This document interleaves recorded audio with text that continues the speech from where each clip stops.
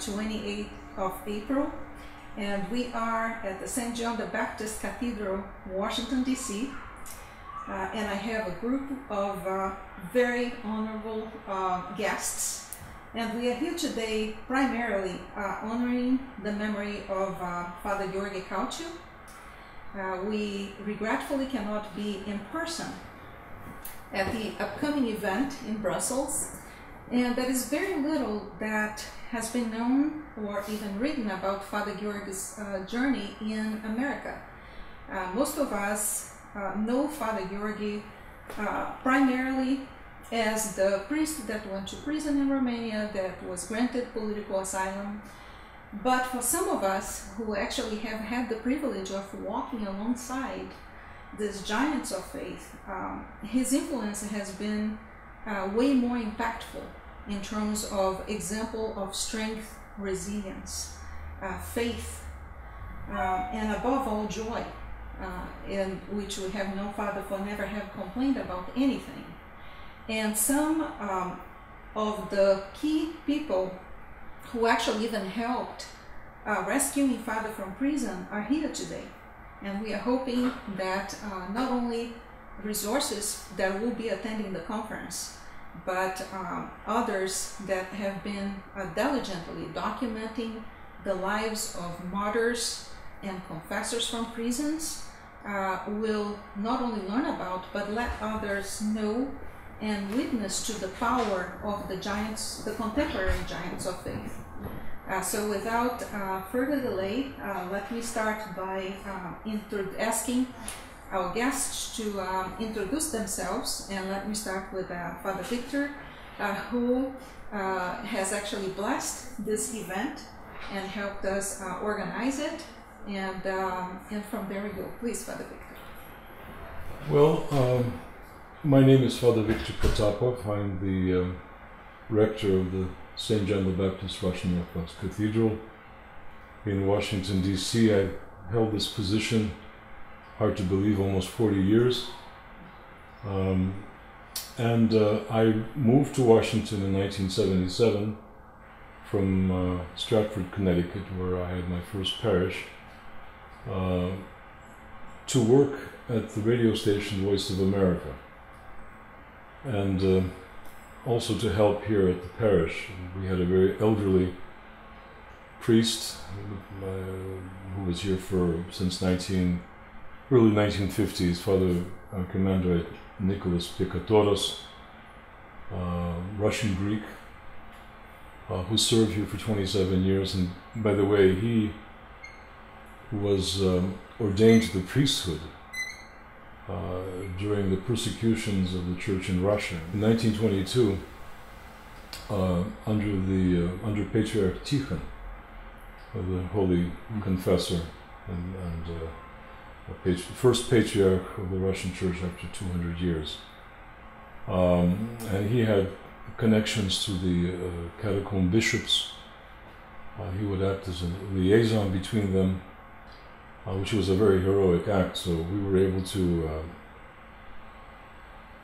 live and serve with uh, a, a, man who was ready to become a confessor himself, perhaps a martyr, Brother Nicholas. Um, so after he left, I, I took over and uh, I worked at the Voice of America, and uh, which was a unique opportunity for me because I was in charge of religious broadcasting. And about the same time, uh, we uh, the uh, we moved the headquarters of the uh, Committee for the Defense of Persecuted Orthodox Christians in the Soviet Union and Eastern Europe here to Washington.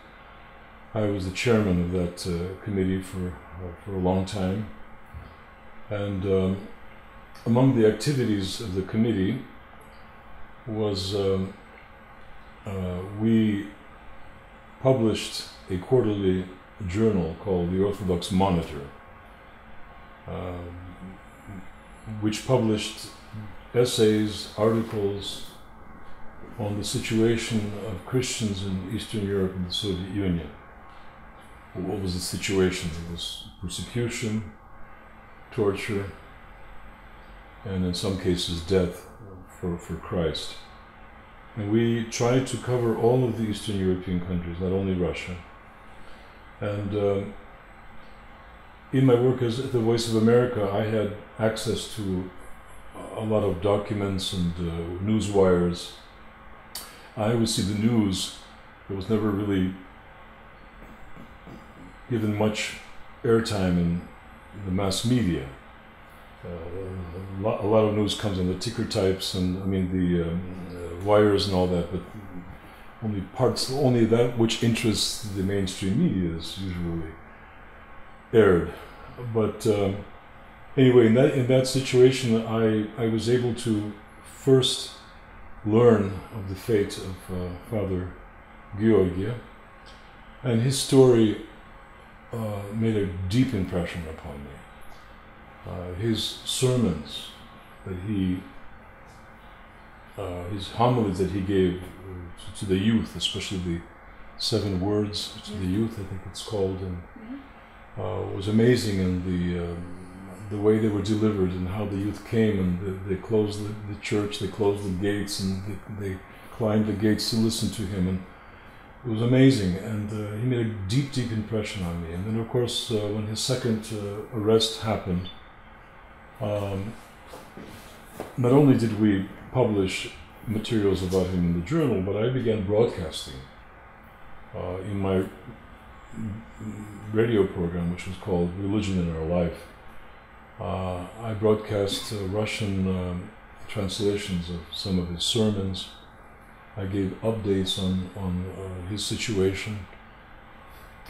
And uh, a couple of times I was invited uh, to speak before Congress, before a committee on human rights in the House of Representatives. And uh, of course, I cited Father Georgi's fate, um, his situation, and I, I, did my best to draw attention and to, to him and to his family and and ask uh, the powers that be to intercede on his behalf.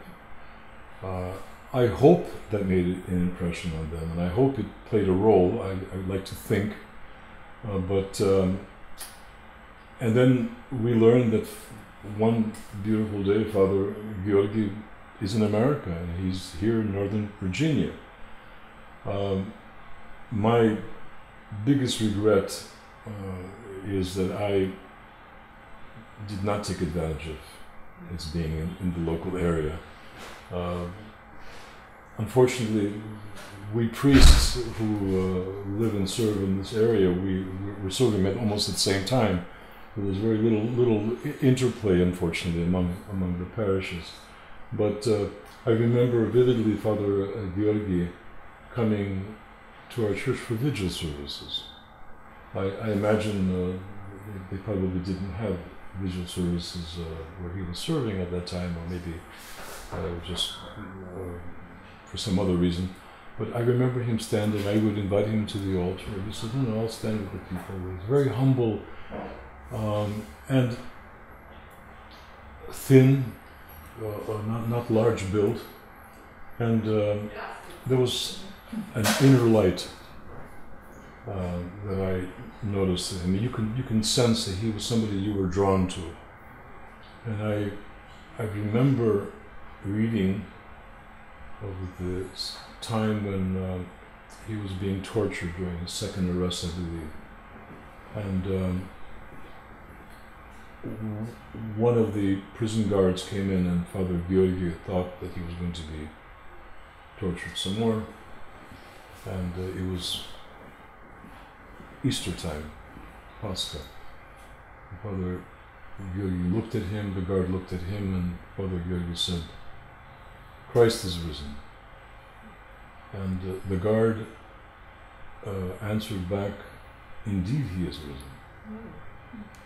And then Father George, I believe he was lying in, in his cot or something, and he was able to witness the uncreated light.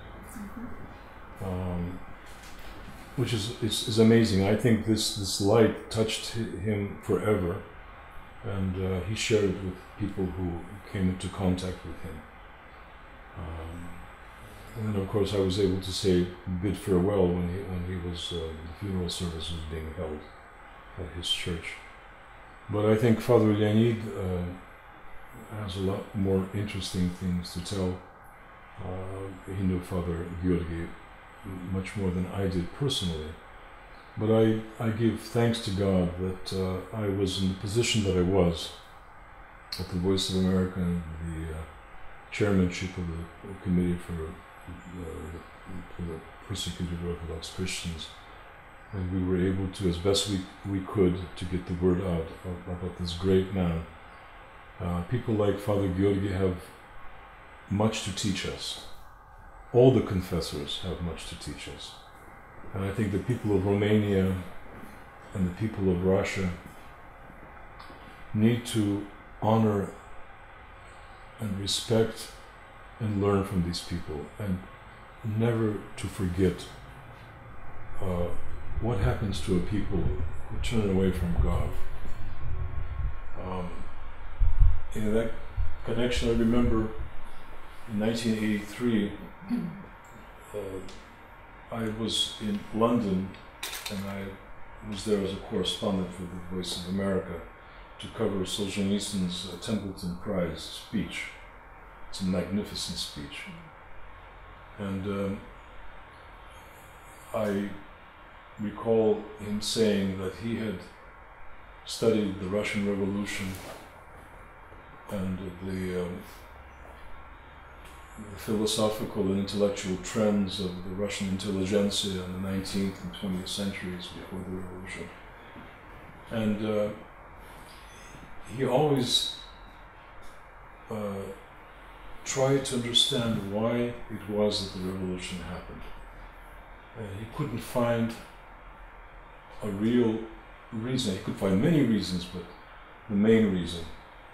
And he said finally he came to the conclusion uh, that his uh, grandfather uh, came to. He says, grandson, the reason this all happened is because God, uh, people forgot God. They turned away from God. Mm-hmm. And Solzhenitsyn says, here I am, uh, one of the uh, most knowledgeable people concerning the revolution, and this is the conclusion that I can come, mm-hmm. only conclusion I can come to as well. That people have forgotten God, and this, this is the, the reason for all of it. So, living saints or people like Father Georgi was our contemporary, uh, not someone who lived in the fourth century, fifth century, which sometimes is hard to, to imagine. But this is in our, our lifetime. People suffered for Christ like he did. Uh, it's, uh, I mean, it's so inspiring, and I think that there are so many now books on Father Georgi in English and, of course, Romanian and in Russian, and uh, it's out there, and uh, I think it's it makes it makes for very good spiritual reading. So I want to uh, say thank you to the organizers of this meeting here in Washington and also the folks that have gathered in Brussels. May God bless you all. Amen. Amen, Father Victor. And actually, uh, big backing on the comment that you have just made in terms of uh, respecting and learning about the word of these contemporary uh, confessors. Uh, when it comes to mind when Father Georgi actually um, stated that how you lose your connection with God comes in very subtle ways. It doesn't come all of a sudden. He said, and he looked at me, he said, Do you think that the communism came to Romania overnight? No. It's like you watch, um, you know, first you take God out of schools. Then, you know, it's like in very small steps, and the analogy that he used at that time was it's just like that crack in the windshield just a very annoying pebble. And before you know, the entire structure is shredded and it's compromised. Yeah, and um, and we have, and just like yourself, you you mentioned, I am I am uh, just as guilty. Uh, you know, we had so much light because after all of the suffering, if you actually look uh, at his pictures and his smile, there was this inner joy, and um, that that is unexplainable. I mean, he he found, in fact, um, when he was dying, uh, we we had to we actually got to spend a lot of time together in the hospital through the night, and he was praying. Um, and uh, and he looks and said, you know, I um, I miss my times in prison. Mm-hmm. And I looked at him and said, how can you say such a thing, Father?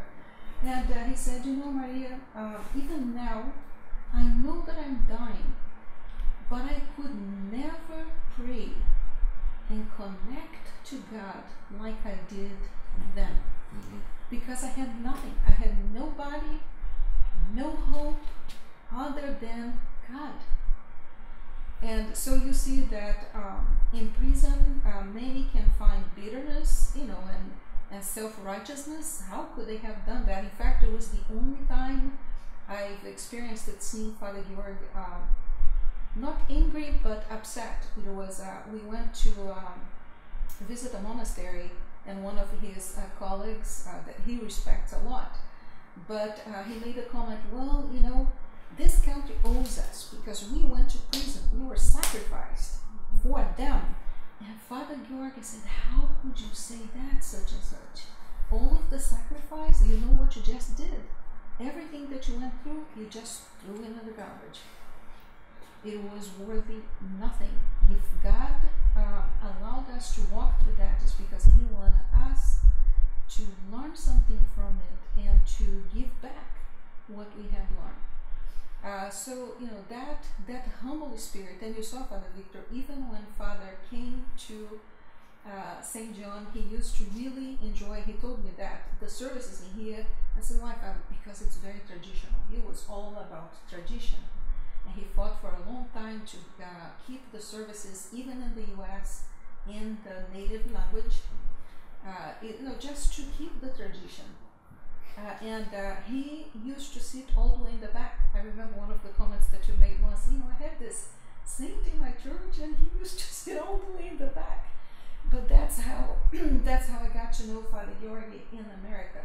Even when we, we went to Vater events, he would sit all the way in the back and waited until he was invited.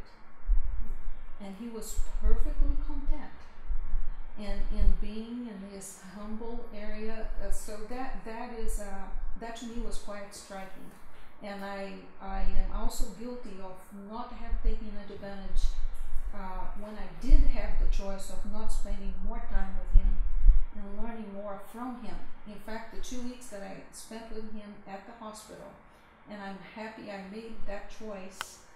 Um, even though work-wise it may not come across very right because it was um, it was extremely impactful. More than years it it it, it passed on to me like a lifetime that uh, we don't have time to cover here. But anyhow let me push the spotlight where the spotlight should be today. Thank you very much father victor thanks for everything and uh, and we hope that uh, you know one day uh, we're going to be able to pray his Akathist yes. uh, be here as well. Uh, I look forward to that time. And I have actually neglected to mention that we also have in here the, the Holy Light uh, from the Holy Land that thanks to um, Father Victor um, actually enabled it to come to uh, the Washington metropolitan area. We drove it to multiple churches around. Uh, so it's another special gift in here as we just commemorated Easter. And uh, without much, without further delays, um, let's pass on to Father Leonid. Well, uh, I'm uh, Deacon Leonid Mickle. I'm just this guy. Um, I've been serving as uh, a deacon in uh, Father Victor's uh, Cathedral of St. John the Baptist since 1982. I'm a staff proto deacon. Um, and it's a little awkward for me to talk about Father Georgi because when I became acquainted with him, I was spiritually an infant. Uh, like so many people in the second wave emigre community, uh, it was a given that one was Orthodox. But what did that mean? That did not mean being a regular churchgoer. It was a tradition, it was a culture, it was all sorts of things except the main thing. Um, in the 1970s, I uh, started questioning uh, where I was going, and uh, that coincided with uh, Father Georgi's, uh, with the publication of Father Georgi's seven words for Orthodox youth in an American publication, The Orthodox Word. And it was like a, a lightning bolt uh, when he said, Christ is calling you. Um, and I was, I could say, annoyed to hear that. And all of the questions he was posing to youth, although I was already an adult, uh, were very pertinent. Uh, you start making choices, you start uh, thinking about uh, where your life is. And uh, I know this talk isn't supposed to be about me, it's about Father Georgi, but he is one of the reasons that I angrily uh, came up the steps of St. John's to settle once and for all what was missing uh, from, from my life. And to my surprise, it was a lot more than I had thought. Uh, later, um, I uh, became personally acquainted with him first through uh, the committee to which Father Victor referred, uh, through uh, reading the Orthodox Monitor, through hearing the testimonies of various dissident uh, clergy who uh, came to visit. And then, to my surprise, I discovered that Father Georgi not only was in the United States, but he'd been assigned to a church across the street from my office building. I had a secular job, I was a government bureaucrat, and my window faced Holy Cross Church.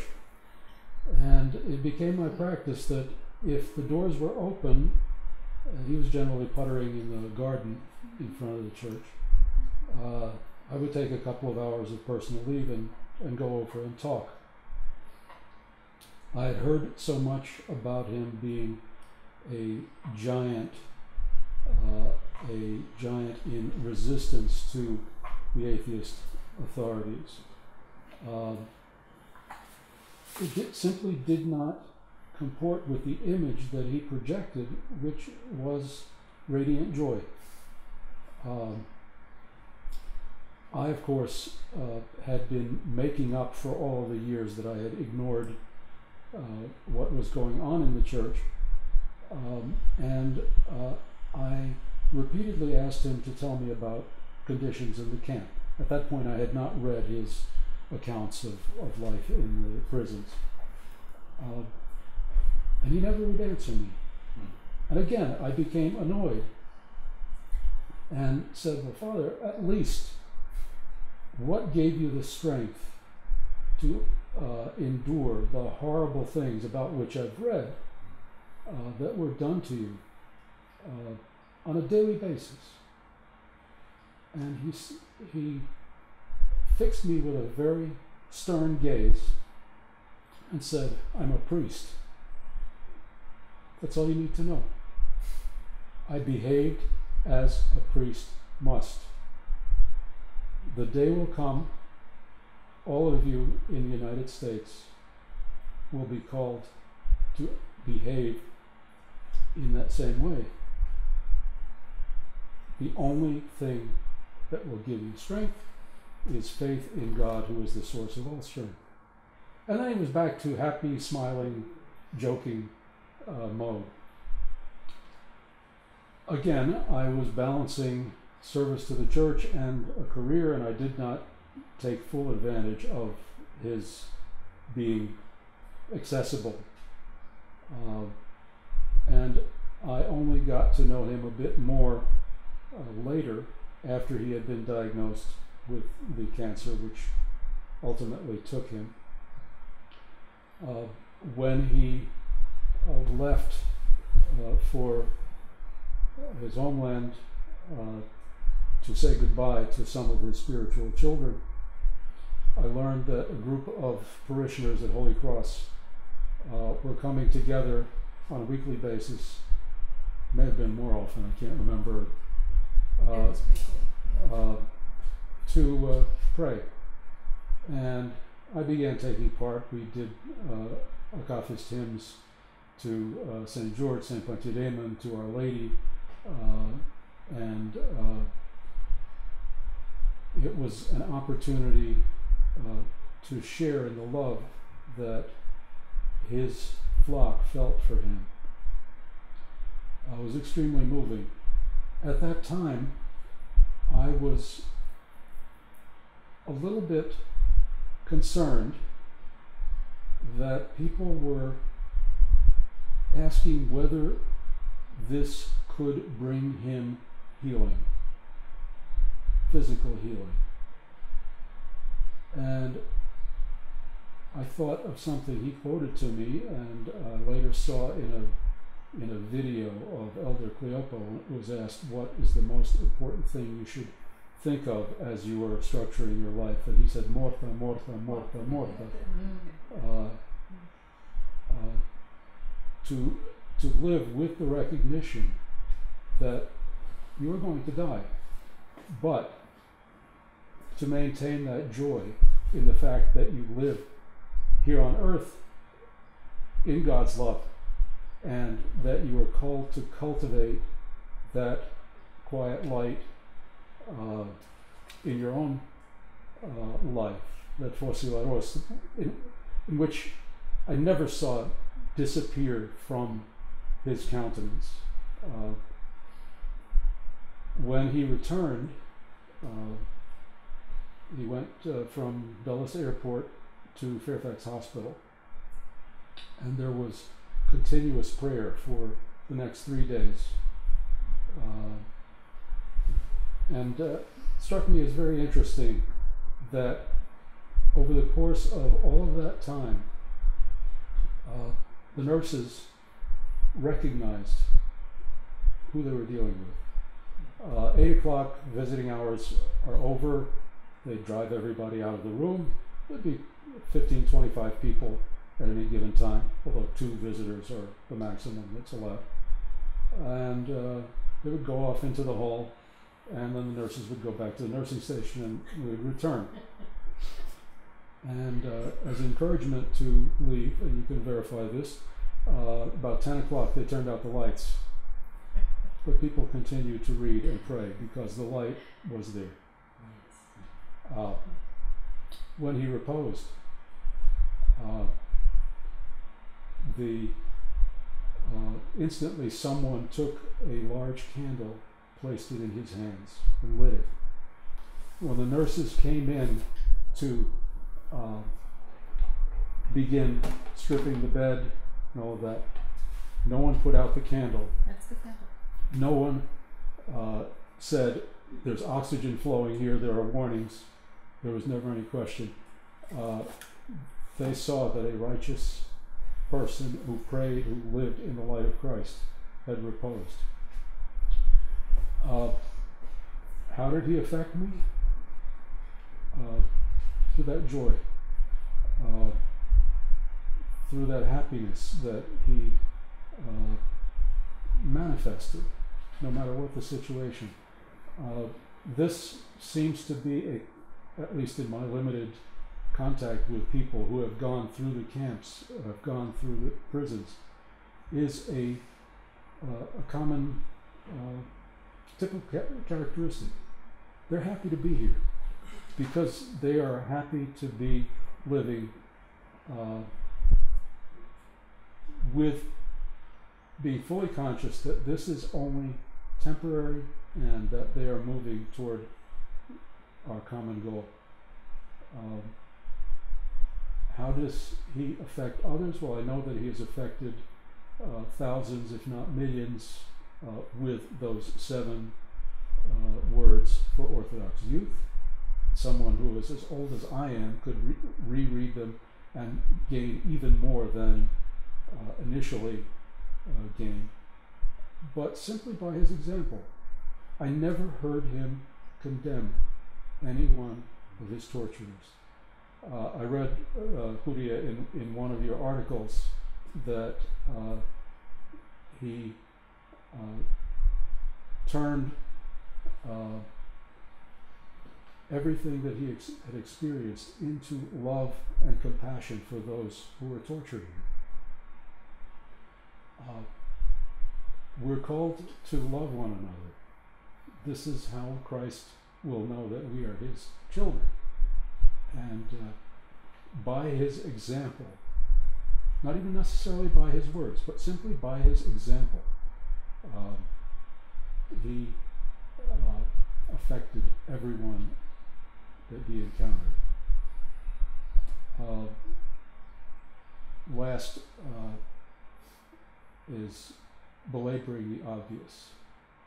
Uh, I once described him to uh, someone who was Russian speaking as Svetlaya Lichnost, a bright or glowing personality. And she said, You saw it too? But you look at people, uh, you can see that inner light, whether it's it's visible externally or not. They live in that light, and uh, I thank God that uh, I had the the the joy of meeting him, if only uh, very very briefly. I love to talk, so please, somebody else. Uh, yeah, well, Father uh, Leonid, thank you very much. And there are a couple of uh, interesting coincidences, if I may, uh, Father Leonid. Um, you know, even at the time in which Father was, um, you know, about to give his soul, uh, I was very overwhelmed. Um, his wife, um, Matushka Adriana, my uh, baptism godmother, um, you know, her glucose was very high because of the stress. Um, and Father had given me uh, specific instructions of what to read when he was passing away. I had to lit up the candle, uh, and there was so many logistics um, that I had to work out. And I said, I, "How am I going to do all of this?" And uh, out of nowhere, out of nowhere, right, right, like coincidences, arranged coincidence. There comes Father Leonid. Maria, you know, I was just taking a lunch break and I thought that I should stop by. And I said, Father Leonid, oh, thank God, thank God. Uh, and I said, I need for you to please read the prayers. And it was right at the time. So I think it was one of Father Georg's gift to you, Father. And Father Leonid comes to the foot of the bed and starts reading the prayer while I had somebody else also with two spare lights because when I lit up the light, um, we actually brought them to church. And uh, so it was just the help that I needed, but the timing was unbelievable. He arrived in there literally less than five minutes before. Well, I, I was not intending to be there that day. I had a medical appointment, and I, I worked in the morning. Uh, and uh, I had, uh, the night before, I had not said goodbye. Simple as that. And uh, I was told that his repose was imminent, but uh, uh, I, I, went to work and then I was,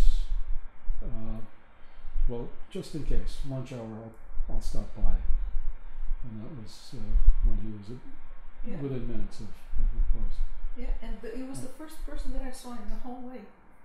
The uh,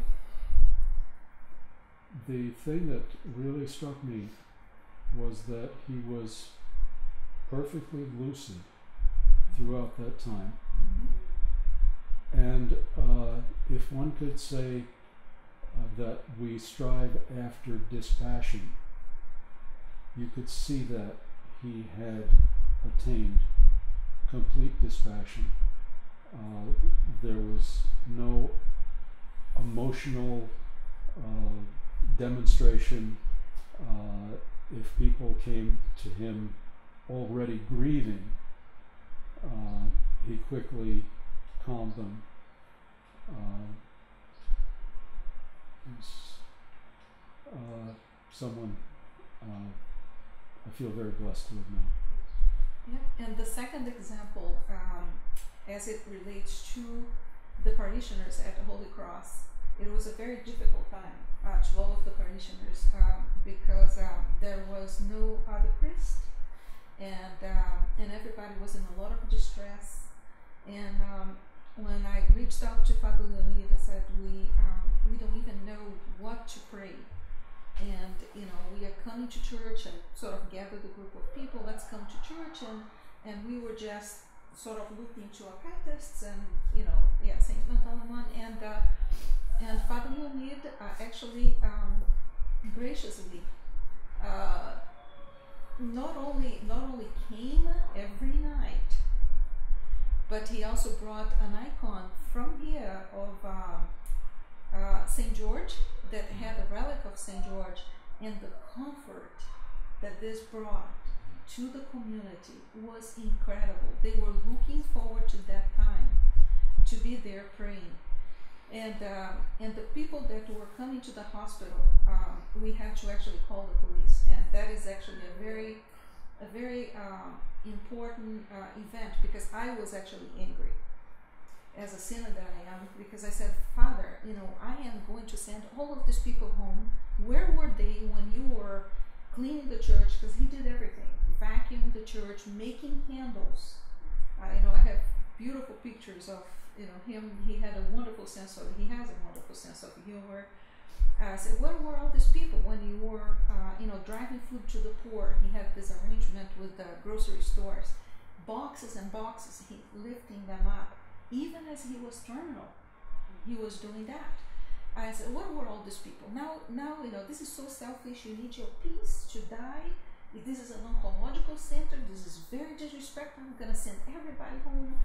And he looked at me, and he said, uh, "No, Maria, let them come, one by one." And he did not die until he blessed every single person who came through the door. Mm. Yeah, the because uh, and, and the lesson to me at that time, he said, but they, you know, they, I can never even see these people at church, you know. And he said, but you know, to Christ, and remember Christ dying on the cross, the thief right next to him.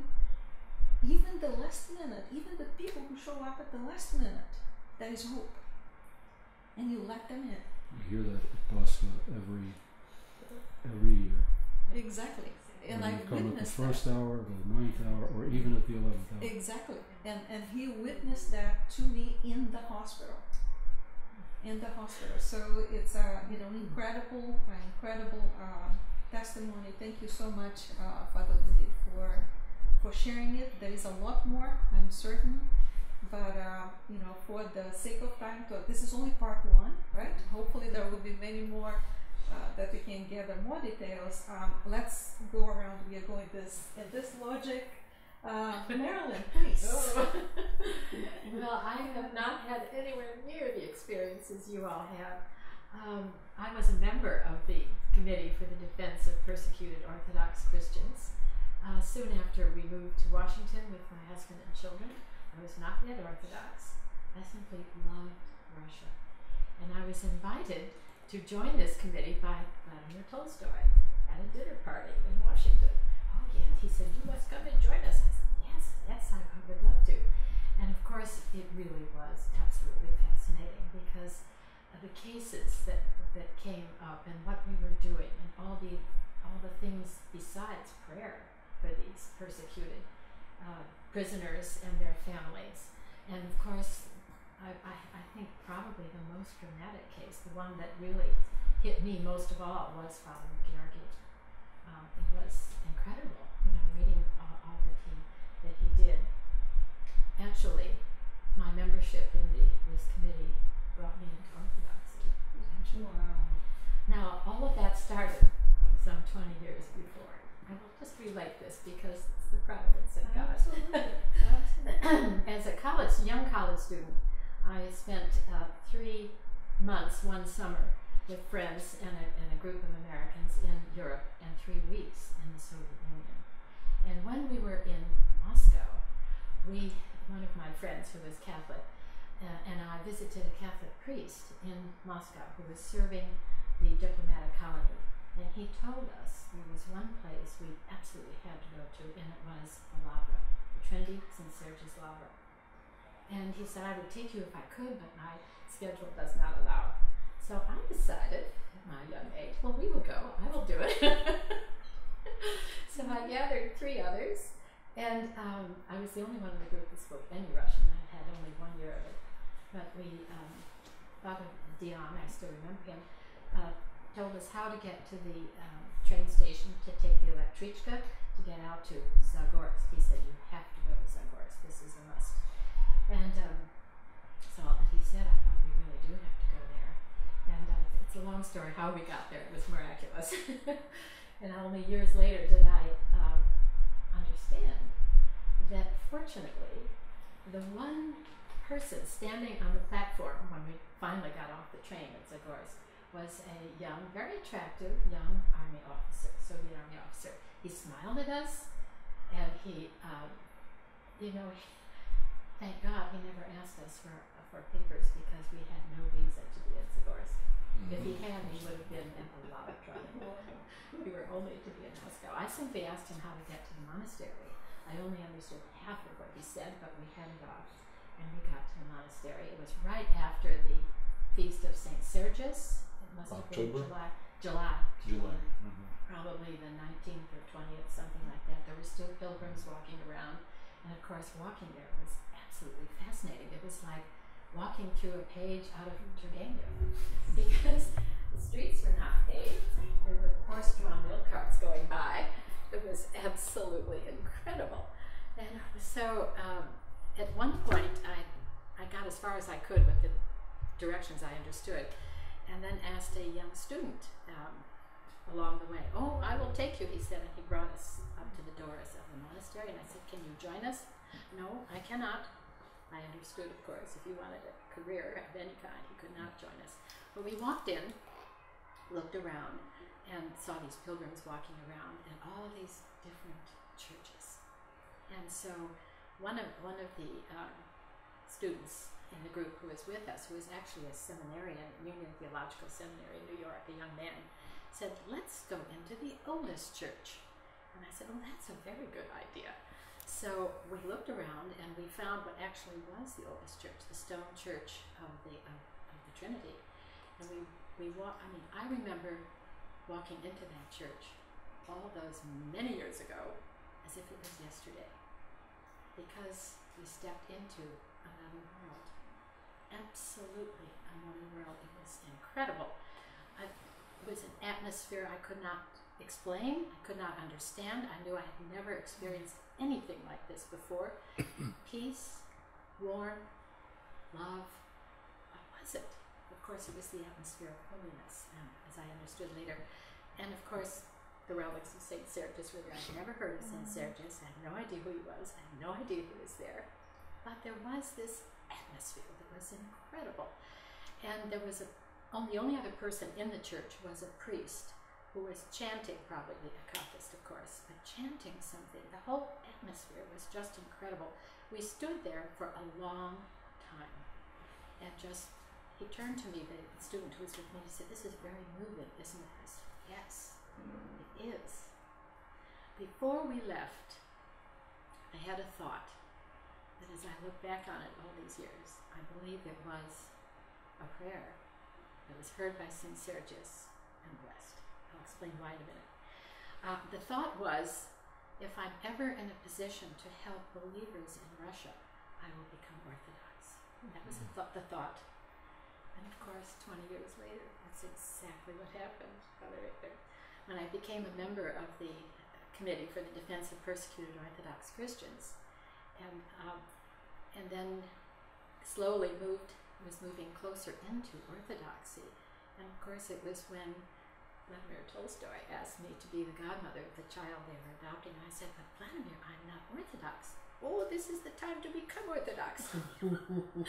and you know, it struck a chord. Yes, yes, that's exactly right. And then, of course, I asked Masha to be my godmother. She was the only Orthodox woman I really knew. So So it re- I was received in 1981 by Bishop Basil Rodzianko, who had also spent some years in prison. And very interesting to hear um, what, what you said about his, about Father Georgi, uh, recalling so many years later. But I was so happy in prison. I was the happiest. Bishop Basil said exactly the same thing. And he, he mentioned that to his Matushka soon after his release, and he said she did not quite understand that.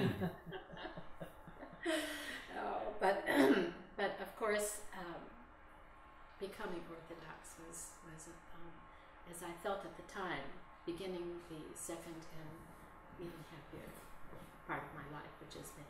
So I was already a new Orthodox when uh, Father Georgi was finally released from prison and came to Washington. And uh, there were a few of us. Bishop Basil, you were with us, I think, Father Victor, when we went to the little church in uh, Arlington, Holy Cross, to Mhm. see him for the first time soon after he arrived.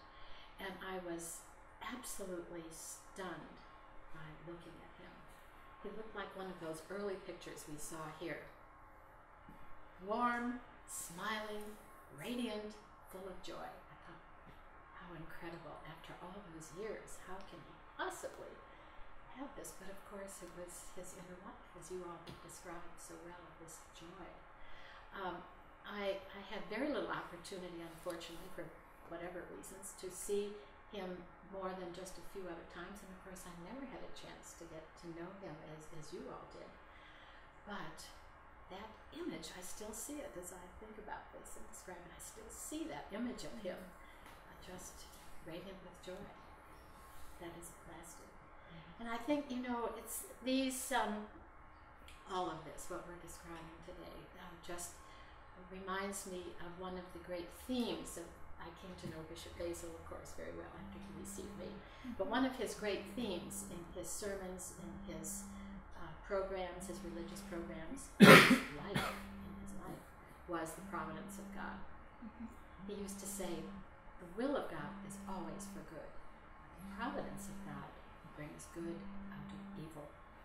And that's what we see great good that has come out of these people who have suffered so terribly, not only in their own life, people like Father Georgi and Bishop Basil too, um, but what, what their effect on the people around them, on the environment around them. And it, it is an ongoing, living legacy, all of this. So thanks be to God, because we have no idea what is coming next in our country. Amen. In the world. Amen. Exactly. Amen. Exactly. Amen. And um, and I'm happy actually um, to Marilyn that you shared a little bit about uh, Bishop Basil. Very similar Yeah. paths, different trajectories, but very similar uh, outcomes. Mm-hmm. and um, and in terms of um, you know the joy that comes, uh, the focus that that we typically see, even even in the Passion of Christ, you see a lot of the um, the Mel Brooks uh, movie, right? A lot of the the focus in the beatings and and the scarring and, and things like this. But if you look even how how the Gospels were written, very very the emphasis is and then he was crucified right because the emphasis is we look not necessarily not that we are undermining the suffering that takes place in prison but like with the apostle paul um, bishop basil father georgi what was the effect of passing through golgotha on earth right what was the outcome uh, is really unveiling uh, you know, a godly instrument that has touched so many of us in so many different ways, and is that impression that is everlasting. And you didn't have to spend too much time with him either. Uh, you know, it was it was just like this this magnet you were drawn into, uh, and uh, and we are. We are very very fortunate to um, have had walked among among these confessors. Uh, that sparkle that many of you are, are talking about, that, that light, um, you know, I see represented in people who were touched by him, even though they perhaps cannot see it in themselves yet. Uh, per se, but um, you know that sparkle sort of it passes, it passes along. In terms of um, the other point that you brought up and that is excellent to um, Marilyn is the contentment and the joy. Uh, Not too many people know. I know that from um, Nasha Adriana, father's uh, wife, when father was terminal, he would wake up in the middle of the night. She used to have a lot of cramps, uh, you know, diabetes and you know very, and she was not very good with uh, with her diet. Father was much better, you know, maintenance wise, but um, terminal. He would wake up in the middle of the night to massage her legs. Terminal. He would still make his prestations. I have his list that he kept at home of all of the names. And that was the first thing that he did every morning uh, when he got up. Uh, so his priority, and, uh, and in fact, uh, one of the things that I should have said even from the very beginning is really paying a tribute um, to Nasha Adriana too. We speak a lot about Father Georgi. Um, Nasha Adriana has been a source of uh, strength to him.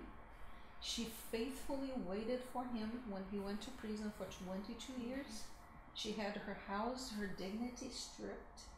Even the priest, there is a priest in New York that came to visit her, were taken to prison just because he came to visit her and her son. I have the inventory of everything that was taken. Her house was left bare, and um, and they were they there were games that were played. They would go and tell father that she had left him and remarried, and tell her the same thing. Uh, or you know he doesn't want to come back to the family at all, or he's dead. Uh, she not for a second she wavered.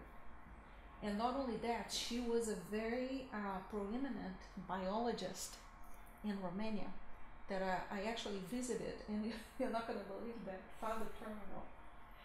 And uh, Andrea Gabriel and myself, we go, she, Nasha Adriana asks him, oh, you're going to go for your last visit to Romania? Please go and bless the Institute of Health where I used to work. This huge building.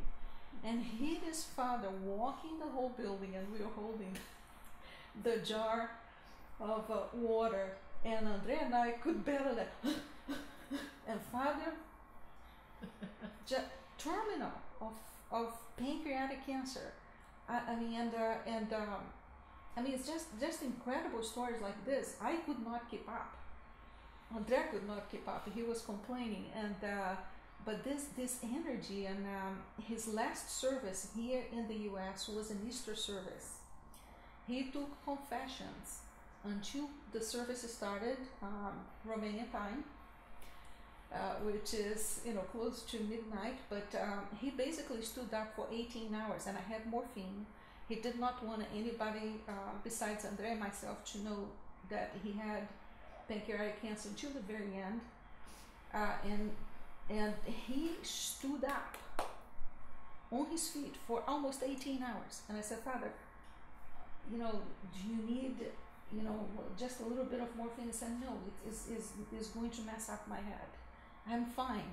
And, and I was standing up on top of the church, all the way up top, and everybody completely unaware, the streets closed with people, and he like completely normal, and I'm like, where does he find this strength? So going back to Father Leonid, he he told me the same thing. as said, Father, how I, I don't understand it's, it's not human. Even the doctors told me the same thing. For the, the way that his blood count was, any normal human being would have died, uh, you know, days before. And, and he stood in there. But uh, he told me the same thing. My, oh, he said, do you think, yeah, don't look at me because that's not for me. Say, if I rely on my own strength, I said, Maria, if you rely on your own strength, there is very little that you can accomplish at all uh, and that's you know the the Latin what um, he said is "Caelitus mihi vires." My strength is from above. Uh, you know, you not that we are deserving of it, but the more you rely and you understand that if you really only put your trust and in, in, in, real, reliance on your own strength, uh, that's when you start breaking. And I make this mistake many times that we get overwhelmed, right? Because we have focused too much inwards instead of hey I, I, I know I can't do that, but um, you know, in God I can do all things. So he understood that concept very well. Uh, Mm-hmm. Thank you very much, uh, Marilyn, and also for sharing about um, Bishop Basil. Uh, you know, hopefully we're gonna have um, also many books coming. Mm-hmm. There are there are many tapes, right? Videotapes Oh, that only now yeah. are going back to Russia. About half of them are there now. I have yeah, and, and impacting people, oh, yes. right? And he's Oh, buried yes. here. He's very well known. Yep. And of course, his broadcasts played a, a large role in the reemergence of Orthodox Christianity in Russia. Yeah, but isn't this amazing? Russia, that has been known, you know, in the past, was known in the past for being the atheist. You see the the, the reversal, the complete reversal of uh, you know the this revival and the richness that is happening. It's uh, for us is scary uh, in terms of what what we are facing now, but we keep on praying. Uh, we keep on we keep on praying. Thank you so much, uh, Marilyn.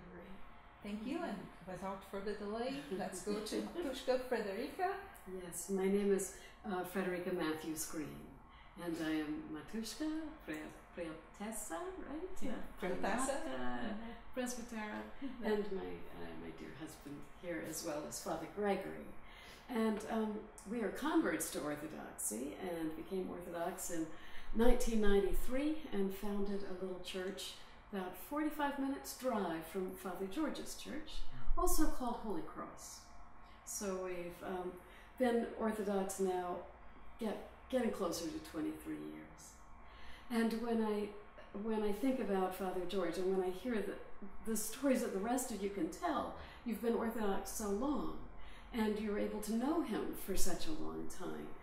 And I didn't. I, I think of myself growing up, a, a little girl in South Carolina, and thinking that all the Soviet Union countries, they were godless communists. I thought there was no faith, that they were all atheists. And wasn't it wonderful to be American because we were Christians?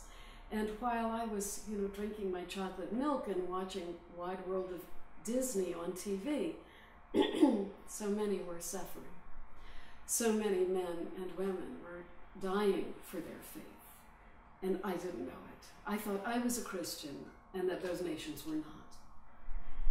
And I had a lot of learning to do.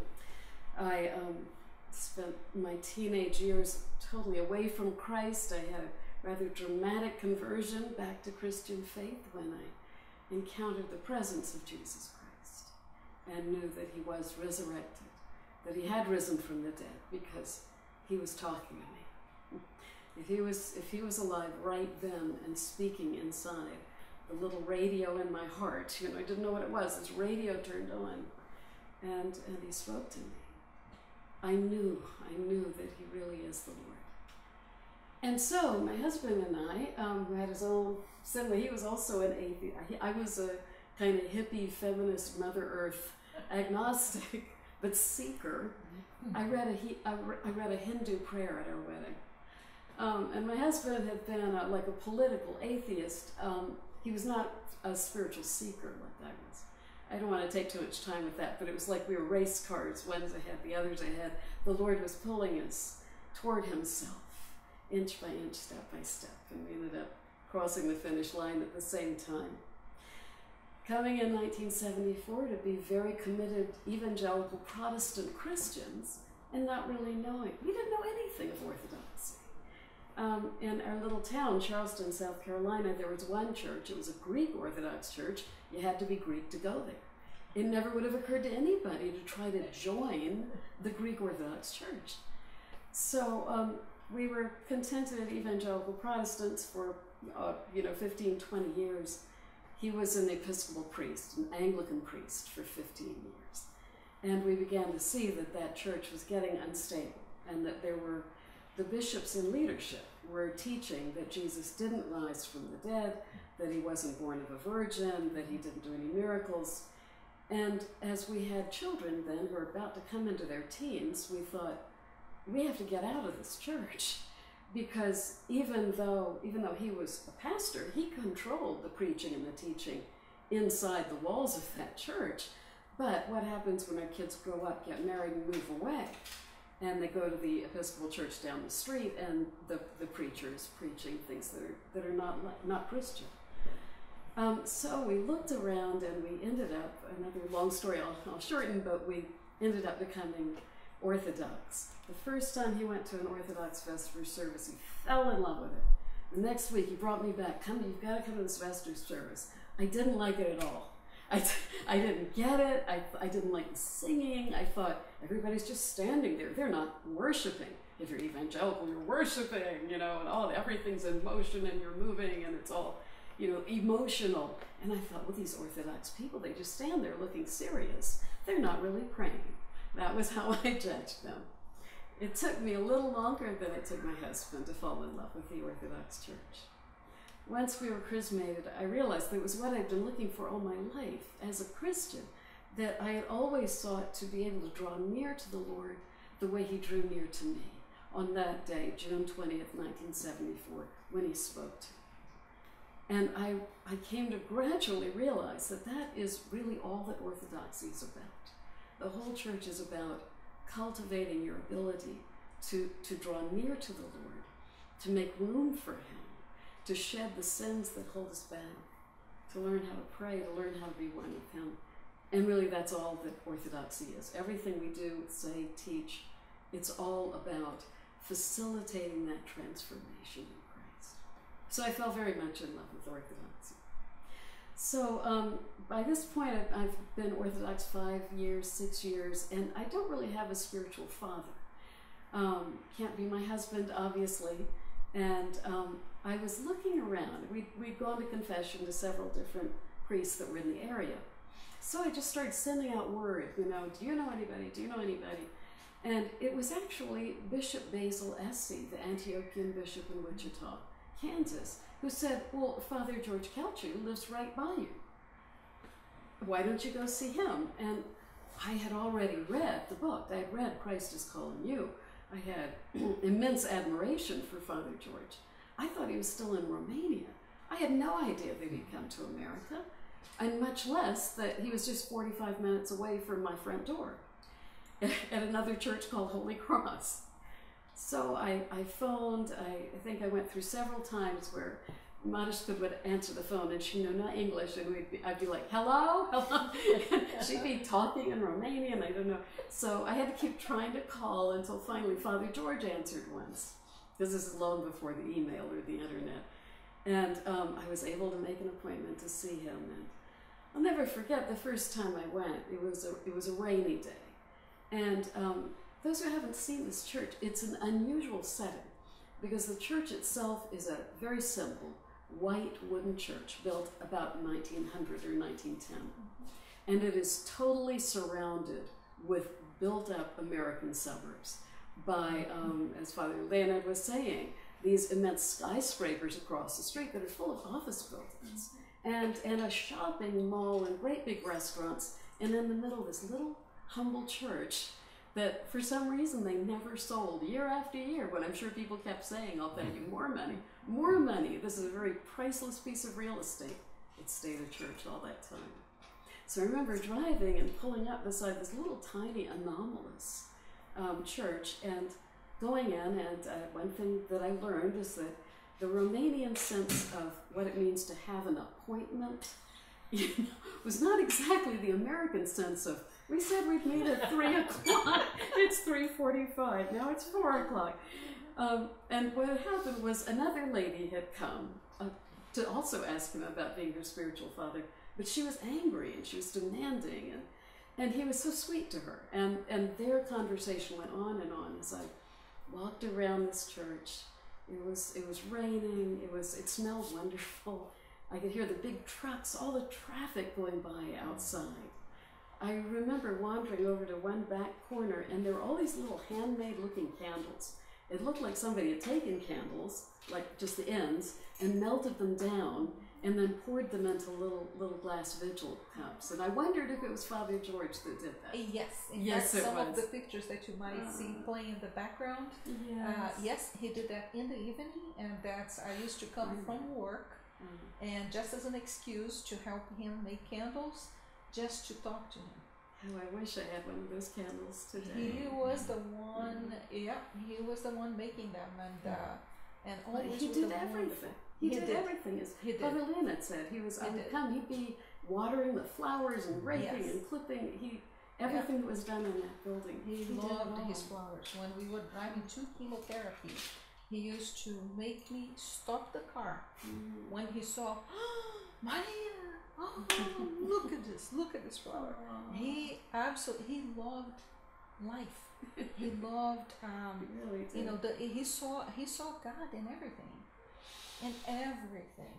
He was so uh, so generous, and Yeah, that uh, yeah. the cheerfulness, of, as everyone else says, that I don't know what I expected to see, but I knew the suffering he'd gone through, and when I met him and I saw that smile and the the light behind his eyes, and um, he would he would come over when I went to see him. He said, "Come every forty days for confession." Every time I went, he would greet me, and he would come up and he'd stand beside me mm-hmm. and hold my hand mm-hmm. and he would smile and i would smile and i would think now the angels are rejoicing and the demons are cursing. You know we we we destroy the demons just by smiling after mm-hmm. all he's been through and i can join into that smile. Much much later after he told me he was the youngest of 11 children and his his mother's favorite and always the baby of the family it, it occurred to me that that smile that he had was actually the reflection of his mother's smile. Hmm. That the smile that he learned, the smile that came to him after he'd suffered so much, was a reflection of the utter security and love he felt in his cradle. Hmm. And looking into his mother's face, that was the face that had been reflected in his eyes as he gazed at her. And it was her smile that he was carrying forward into the future and that had borne him up through so much. I often think it was like he his, experience in the prisons was like if you're if you're driving down a road and you hit a, a T crossing, as we say in America, T, um, you can't go forward. You have to go either left or right. And everyone who went into those prisons faced that that T crossing where they had to decide whether they would cooperate and be sickened and be decayed and destroyed by letting that evil into them, or whether they would turn toward the light and turn toward the right and and turn toward God and abandon all strength in themselves and take all their strength from the Lord. Um, it was as you look back at his his the way he talks about his first imprisonment and he was a young man. Was it, 22 or something? Yeah. And I think my impression is not as devout then as he became later on. He was planning to be a medical, a doctor. Um, was not planning to be a priest at that time. And he was brilliant. He was always brilliant. Yes. And I think that in the prison, he faced something where his brilliance was not going to be enough to pull him through um, that his his native abilities and talents and everything that just made him a exemplary and unusual human being that that was not going to be enough. And he talked about how he would be tortured to the point that he actually would deny his faith. He said you're you're out of your mind with pain. You don't even know what you're saying. And and and he's he did. He didn't he wasn't able to resist the torture. But he said I did deny the Lord, but when I was alone again at night and I could pray and I could weep and repent and and, and ask the Lord's forgiveness for my denial, that was very sweet. And I think only of us who had occasion to repent know how that can be sweet instead of miserable. Mm-hmm. How that was sweet to him. And I think he got a taste for that sweetness. He got a sweet tooth like Matushka had. Oh, he He, did. he got a sweet did. tooth for the presence of Absolutely. the Lord. Absolutely, and, and the, the grapes that he loved, because it Mm. reminded him, he actually liked, um, even outside of Holy Cross, there is still uh, a vine that was planted not by him, by Matushka. Not many people know about that, but uh, it was the joy of his life, just going That's there, uh, because it reminded him, uh, he really enjoyed the concept of uh, abiding. It's a very Mm. strong abiding in the vine. the meaning of abiding and where you draw your strength from Yes. uh, and how you renew yourself uh, from abiding. he certainly knew how to do that. Yeah, he did. And I, I think He it did. was a lesson he had to learn in the emergency cat- catastrophe conditions of the prison. That it, he had to stop relying on himself as a very clever young man Mhm. and start realizing how, how empty he was on his own. Mm-hmm. I, I remember he says in uh, Christ is Calling You that the torture went through several stages, but he said it was the last stage that was most devastating when they were compelled to torture other people, mm-hmm. other prisoners. Yeah. And that is what mm-hmm. destroys your sense of humanity. Yeah, exactly. Um, it, it, it is something that is so out of sync with what you believe yourself to be. He said that is the point at which most of us tried to kill ourselves. It wasn't when they were feeling pain, it was when they were inflicting pain Mhm. that they were rendered inhuman. Mhm. And, and so we, I, I think we shouldn't, um, uh, we shouldn't pretend that Father George was anything other than an ordinary, extremely gifted and intelligent person at first. Otherwise, we can't imagine ourselves walking in his footsteps. That we can see that at the very beginning, he, he had a choice of relying on the brilliant man he was or of abandoning all that, falling in repentance, and accepting only the power of God. And he made the, he made the only choice that leads to life. Mm-hmm. And we are able to do that. We should take courage from the transformation he was able to accomplish and then maintain to the age of 81. That he was able to maintain all his life, that mm-hmm. shone out of him like a light, all his life. That, that it's not just like a museum exhibit that we admire, that God calls us to that as well. You know, that's why the book is titled Christ is Calling You. Christ is calling us. Even as, as old and worn out as we are, Christ continues to call us. And he gave us the example. I'm trying not to cry. he gave us the example of what it what it looks like when he, George Calciu, Father George, is transformed. He says, you know, now think about for you, what God do in you when he transforms you this way? And uh, I, I guess that's the last thing I wanted to sum up with, um, because we've talked a couple of times about it's come up about what if America faces that kind of um, persecution someday. And people laugh at us for even thinking about it, but to know that it has happened, that it happened in the last century, it can happen again. Um, he, he told that story pretty frequently about it being Pascha. He knew that it was possible because he heard the bells ringing. And he determined that when they came in for the daily count to make him stand, say his number, say his name, um, that he, he wasn't going to do that. And they opened the door and he said, Christ is risen. And he said there was a pause and the, the, the soldier, the guard, almost not under his own control, said, Indeed, he is risen. And then they went away, and he said, it was at that point, he said, he began to see everything glow. He saw the uncreated light, that the light was everywhere. And his, um, I know that I got so much less out of knowing him than other people did because I couldn't understand what he was saying so much of the time because his English wasn't perfect. Um, my, my Romanian is non existent. So I, I, I admire the amount of English he had. But I always remember he said the board was full of shine. The board that he slept on, the board was full of shine. Um, but that's only the first half of this story. Because he began to think about now they will send the head of the guards. And, and it's going to be tough. And the head of the guards is going to come and interrogate me about what I said and I'm going to have to have answers. I need to think about what I'll say. And he said it became almost like he was watching a movie in his mind, that the guard would have his lines to speak, and the father would have his lines to speak that would be devastating and clever and you know just just this man is going to be so perplexed and he won't know what to say and so the guard came and he opened the door, and it was exactly like he'd imagined. He said, You know, what do you mean? Have you ever seen him? How do you know he rose from the dead? Well, I have not seen him, but I don't need to see him because. And he said, That's when the light began to fade.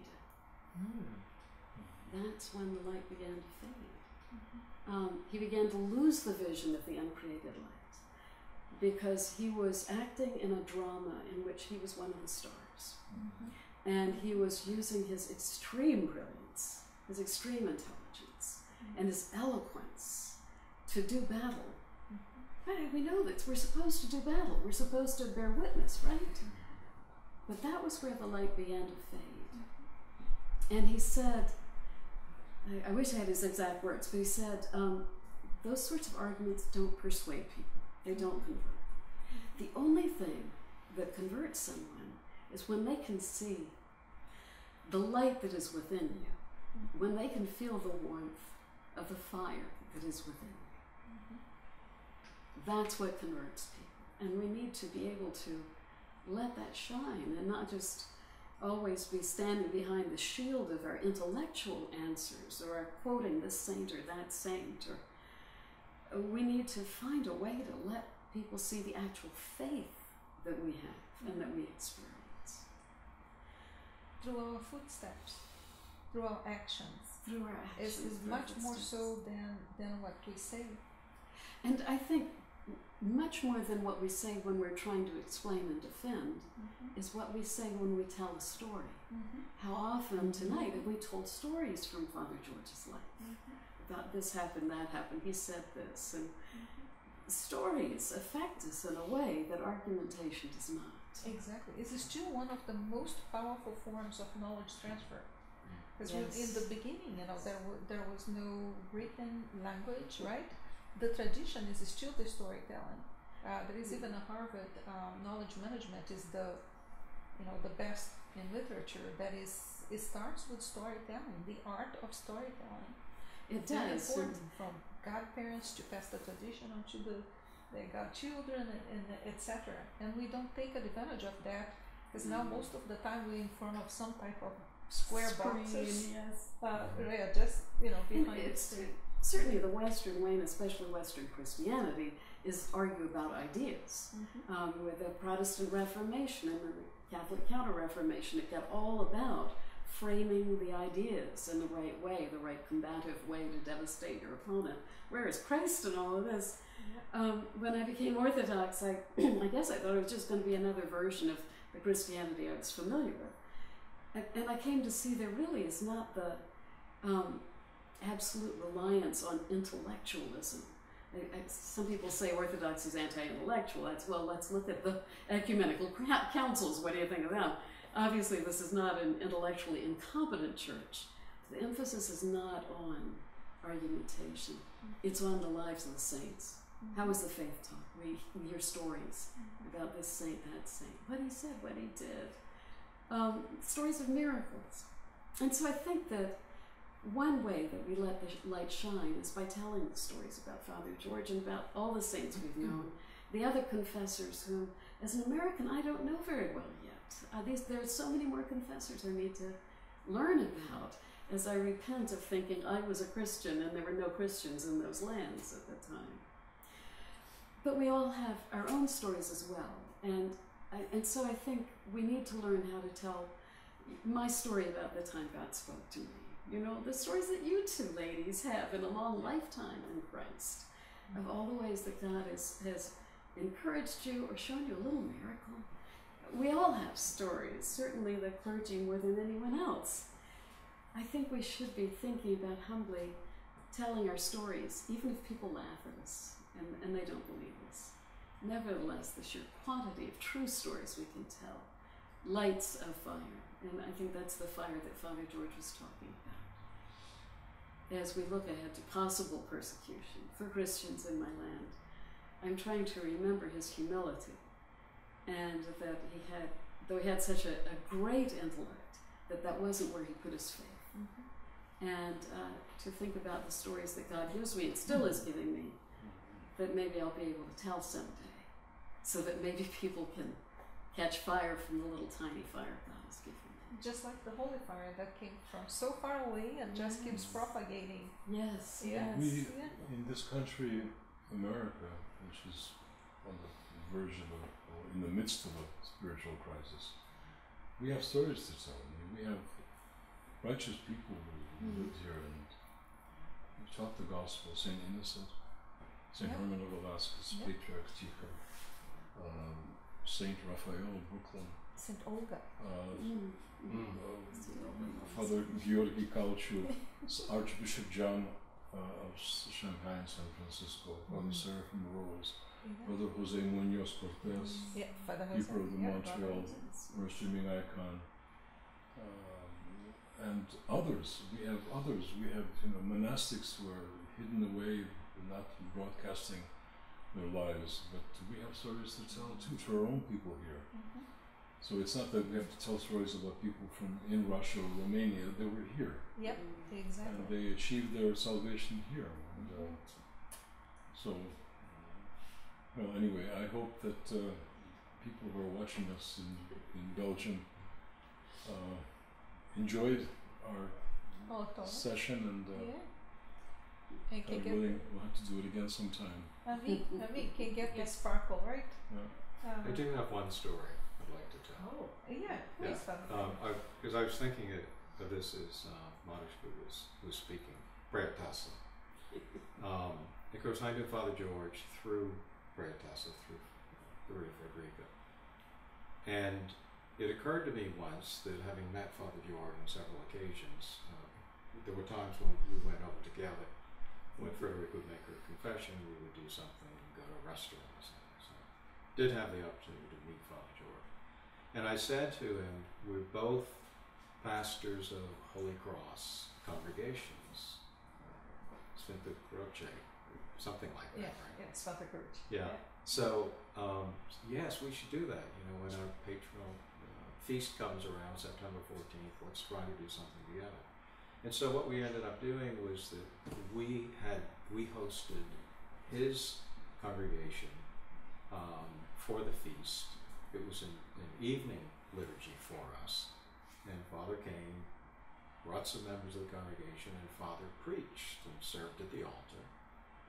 And I remember since we were a small church, uh, about the size actually of, of Holy Cross in Arlington.